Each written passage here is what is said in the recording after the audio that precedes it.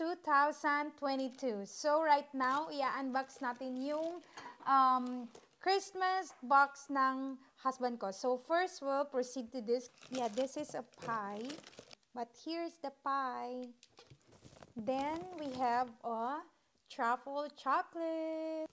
Next, we have a butter, mozzarella, pimento, queso, cheddar, goat cheese, cheese, Jano, Merlot red wine, jam, cream milk, pepperoni, cure, bacon, salami, almonds, chocolate. Yeah, my chocolates. Second box. So, ito yung uh, malaking box. Okay. Uh-oh. Uh-oh. Where's your milk? Can you get your milk, please? No. Okay. Corn chips. Crackers. Pasta. Fruit and walnut, walnut crisp. Parang biscuit. Shortbread. Pretzels. Peanuts. Buttermilk pancake. Popcorn. Pecan. Cashew. Sauce na eggplant with caponata. Yan naman, crisp. Chocolate chip. Dito ko na lang ilalagay kasi si Marcus. Oh my gosh, Marcus. You're, just play guitar. Mama will be happy when you play guitar. No. I am happy. Cherry na ano, jam. Pa-pizza sauce. Ketchup. Maple syrup. Salsa. Verde. A dark chocolate. And sea salt na dessert sauce.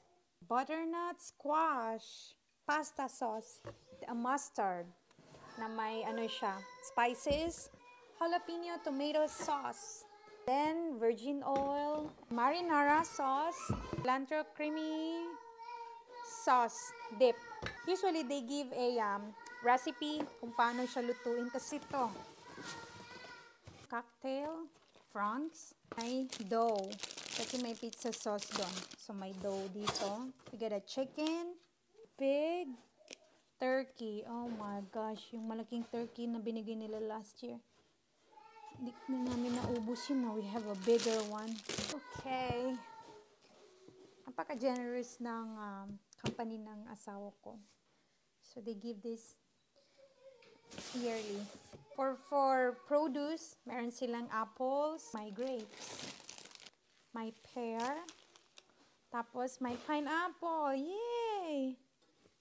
Pineapple, and then my pear, tapos um, oranges, mandarin, mandarin yun.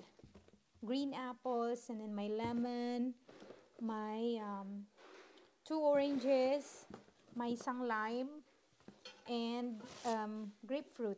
Okay guys, ito na yung mga um, nasa listahan. So tingnan nyo, ang dami 'di ba? Basta yan yung mga laman guys, ang hirap sabihin. Tapos ito yung mga dry goods nila. And then, oh, dami, ba? Ito pa, dry goods. And then, dairy. And then, they got this produce. Oh my gosh, don't break. And the frozen. Ito yung mga frozen nila. Tapos, guys, eh, pumunta din yung asawa ko sa Jollibee! Yay! So, yan yung lunch namin. It's already 12? Oh, 11. 11 pa lang. So, yun yung mga food namin.